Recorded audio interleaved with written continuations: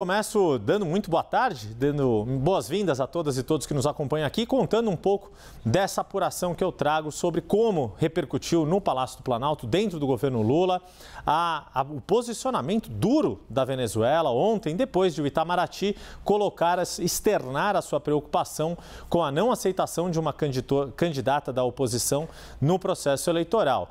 É, há um reconhecimento de que sim, esta nota da Venezuela é dura, como algumas outras já foram, mas que ainda é preciso manter a aposta no diálogo, no histórico de boas relações entre Lula e Nicolás Maduro, que vem desde o seu antecessor, Hugo Chávez, para fazer valer cumprir, para fazer com que seja cumprido o Acordo de Barbados. A grande questão é que muita gente já começa a colocar em xeque não só a confiabilidade, a credibilidade de Nicolás Maduro, mas já vislumbra que dificilmente este acordo de Barbados vai ser cumprido como se prevê e que as eleições marcadas para 28 de julho não vão ser realizadas como se espera num processo minimamente democrático.